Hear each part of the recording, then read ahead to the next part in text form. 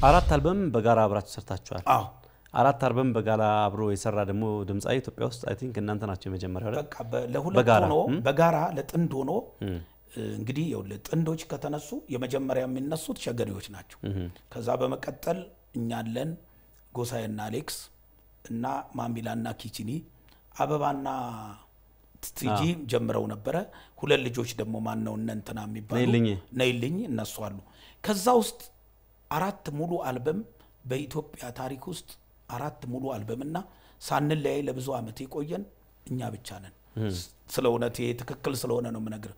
ግን ያው የኢትዮጵያ ሙዚቃ ያው ምልህ ውለታዋን ሙዚቃ እንኳን ለእኛ አራት አልበም ቶ ጥላሁን ገሰሰ ሶስት ዘመን ሙሉ ዘፍኖ ጥላሁን ገሰሰ ማለት ለእኔ አገር ማለት ነው።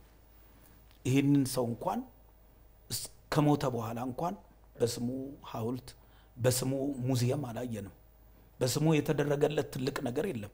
ሶስት ዘመን ሰውን አጋብቶ ሰውን አፋቅሮ ለአገሩ ዘፍኖ ይህን ያህል ዘመን የቆየ ጥላሁን ገሰሰ እንኳን ውለታው አልተመለሰለትም እና ለዚህ ነው እኔ አሁን ፍርሃቴ ሙዚቃ ህይወቴ የሚለው ወደ ሙዚቃ ልፋቴ በኋላ ደግሞ ሙዚቃ ጥፋቴ እንዳይሆን ከዛ ሞቴ እንደዛ እንዳይሆን ብዬ ነው የምፈራው። እግዚአብሔር ቀልድ የሚመስል ግን የሚመስል ነገር፣ ቀልድ የሚመስል ግን ትክክለኛ የሆነ አባባል ነው ያልከው ብሬ። ሮያሊቲ የሚባለው ነገር እስካሁን ድረስ አለመከበሩ እስቲ ተመልከት። እኛ እንኳን ዘፋኞች ስለሆነን እንጀራ በልተን የምናድርባት በድሮ በሰራንም ዘፈን ቢሆን የዘፈኑ memory ስላለ በየክለቡም በምንም እየዞርክ ውጭ ሀገርም እየሄድክ ትሰራበታለህ። ምንም አይደለም። በተረፈ ያንን የሚያክል ግጥምና ዜማ የሰሩ ብዙ ሰዎች የግጥምና ዜማ ደራሲዎች በጣም በጣም ከሚገባው በላይ ስለ እውነት ነው መነጽሩን ደግሞ አውልቀን ሞክረው ልቀን ሞክረው ለእኔም ጥሩ ነው። ግጥምና ዜማ ደራሲዎች ደግሞ የሚያስገርም ነገር ነው። ይህንም ያክል ግጥምና ዜማ የደረሱ ሰዎች ምንም ነገር ሳያገኙ ምንም ነገር ሳይኖራቸው እንደው የሞቱትም አሟሟታቸው ሳያምር በሚያሳዝን ሁኔታ ሆነዋል። ግን ለኢትዮጵያ ያደረጉትን አስተዋጽኦ ስትመለከተው በጣም ትልቅ ነገር ነው። ግን ይሄ ሮያሊቲ የሚባለው ነገር ቢከበር ዛሬ ሁሉም ሰው በመጠኑ አያጣም ነበር እና ያሳዝኑኛል። በተለይ ለእኔ ግጥምና ዜማ ደራሲዎች፣ ሙዚቃ አቀናባሪዎች በጣም ከዘፋኙም በበለጠ ሁኔታ ያሳዝናል። ኢትዮጵያ ውስጥ ለሙዚቃ የተሰጠው ቦታ በመንግስትም ጥንክር ያለ ነገር አይደለም እና አሁን ያለው ግን እየታየ ያለው ነገር ደስ ይላል። አውታር የሚባለው ሄደን አይተናል። እሱ ደግሞ እንደው ስለ አውታር እናወራለን፣ ግን ቀደም ሲል ካነሳኸው ነገር ጋር አንድ እኔ በራሴ የማውቀው አንድ ባንት ላይ አንድ ቀልድ ነገር ነበረ። በተለይ ከዚህ ከቀረጥ ነጻ ጋር ቃለ ማስገባት በሚለው ነገርና ምክንያቱም ውለታችን ይህን ያህል አይደለም ከሚለው ነገር ጋር ተነስቶ የዳዊት መለሰና ያንተን በተያያዘ እስቲ ምንድነው እሱን ጨዋታ? እስቲ ምክንያቱም እኔ? ከአረብ ሀገር ነው የምመጣው። ከባህሬን ነው? ከባህሬን ከዱባይ ጊዜውን ትዝ አይለኝም። እና እንትን ነው ገዝቼ የመጣሁትኝ የሽንኩርት መፍጫ። ነው። እና የሽንኩርት መፍጫውን አንድ ለቤት አንድ ደግሞ ለሰፈር አካባቢ እድር ነው። እኔ የሰፈሮቼ የ- የእድር ማህበር ሴቶቹ ሁልጊዜ ሽንኩርት በቢላ ሲፈጩ ሳይ እንደው ያስጨንቃል። እስቲ እንደው ዝም ብዬ እንዲህ ባምጣ ብዬ ይዤ የመጣሁ ሁለቱን ማለት ነው። ይህ ስገባ ያው ሲያገኘኝ ጉምሩክ ጉምሩክ አንዱ ቢገባም አንዱ ቀረጥ ያስፈልገዋል አለኝ። ቀረጥ መከፈል አለ አዎ እንደው መቼም አሁን አንድ ነገር ልንገርህ፣ እኔ ቀረጥ ለመክፈል ችግር የለብኝም ከፍላለሁ።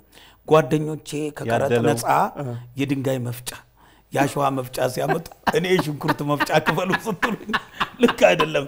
እንግዲህ ሁለቱም መፍጫ ነው። እንዴት የሽንኩርት መፍጫ ስለው ሳቀና አስገባልኝ።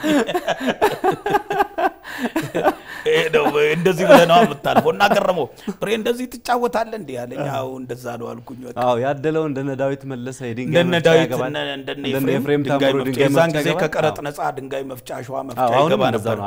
አሁን እንግዲህ አይኑር እኛ ሽንኩርት መፍጫ ስለሆነ ያስገባ ነው። ስለ ሌላው መፍጫ አላውቅም። እሱም አሁን ይኑር አይኑር መፍጫውም አላስታውሰው። እንደው በመሀል ኮስተር ካለው ነገርም አንተም ዘና ዘና ታረገኛለህ ብዬ ስል ጆሲ in the house show ላይ ቁም ነገር ብቻ ነው የሚወራው ብለህ ቁም ነገር አበዛብኝ። አለው ጨዋታውንም እንጫወታለን። እያዋዛን ነው መሆን ያለበት። እንግዲህ ከዚህ ወዲያ መነጽሬንም ማስወልቀኛል። ምንም የቀረ የለም የምታስወልቀኝ። ቀስ እያልክ ኮቴንም ላወልቅ ነው። ኮት እንኳን ጥሩ ነው።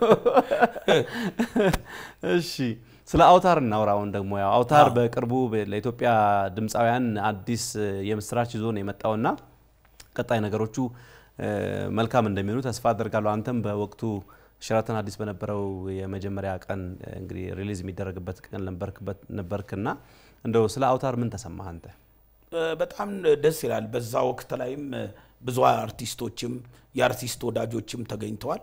እነዚህ ልጆች የተወሰኑ ልጆች እነ ኤልያስ እነ ጆኒ ራጋ እነ ኃይሌ ሩት ሌሎችም ባለሀብቶችም እንደዚህ የእውቀት ሰዎችም አብረው ሆነው የለፉበት ነገር ነው ለብዙ ጊዜ።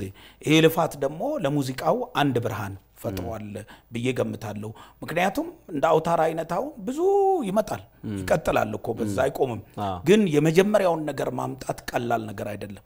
ስለዚህ ይሄን ነገር መምጣቱ በጣም ደስ ብሎኛል። እኔ ብቻ ሳይሆን ሌሎችም አርቲስቶች በጣም ደስ ብሏቸዋል። የልፋታቸውንም ዋጋ ቀስ እያሉ ለማግኘት እድሉ የመጣ ይመስለኛል።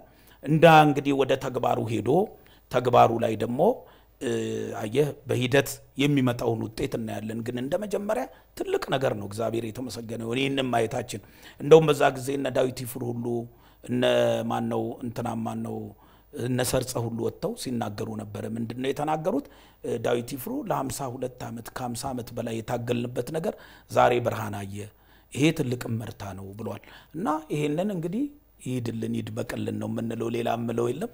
ከዚህም የበለጠ ደግሞ ሌላም ነገር እንዳልከው ሮያሊቲውም ተከብሮ ትልቅ ነገር ይደርሳል ብዬ ገምታለሁ ከእግዚአብሔር ጋር። የተከበራችሁ ተመልካቾቻችን በመከታተል ላይ የነበራችሁት ከአርቲስት ብርሃኑ ተዘራ ጋር ያደረግነውን ቆይታ ነበረ። ጆሲን ዳሃው ሾው በጄቲቪ ኢትዮጵያ የምትመለከቱት ፕሮግራማችን ነው። ለዛሬው እንግዲህ ከአርቲስት ብርሃኑ ተዘራ ጋር የምናደርገውን ቆይታ አላበቃንም። ቀሪ ጭውቶች አሉን። በጣም የሚያስቁ በጣም ደስ የሚያሰኟችሁ የቁም ነገር ፕሮግራማችን ነው። እንግዲህ ለሳምንት በክፍል ሁለትና የመጨረሻ ክፍል ብዬ ለመሰናበት ነው። እንግዲህ ለዛሬው መጨረስ አልቻልን፣ ምክንያቱም ሰዓቱም ስላጠረን ማለት ነው። በክፍል ሁለት ደግሞ በጣም ደስ ደስ የሚሉ ሀሳቦችን እያነሳን እንስቃለን፣ እንጫወታለን፣ ቁም ነገርም እንወያያለን። በጉጉት እንድጠብቁት በዚህ አጋጣሚ በአክብሮት ገልጻለሁኝ። እንግዲህ ለዛሬው ለነበረን ቆይታ እጅግ አድርጌ ያመሰግናለሁኝ። ሳምንት በክፍል ሁለትና በመጨረሻው ክፍል እንገናኛለን። እስከ አሁኑ ለነበረን ቆይታ እጅግ አድርጌ ያመሰግናለሁኝ። ስቱዲያችን እንደዚህ ያማረ እንዲሆን ላደረገን አዲሽን furniture interior design designer አዲስን እጅግ አድርጌ ያመሰግናለሁ። ሳምንት እንገናኛለን። ከቀሪ የጄቲቪ ፕሮግራሞች ጋር አብራችሁን ቆዩ። ሰላም። የማሬ ማሬ ሸጣንቼ ወይን ዘለላ ለየት ያደረገው ፍጥረትሽን ከሌላ ጎህ ማለዳ ሰማዩ ሲጠራ ፈካ ብለሽ ውጪ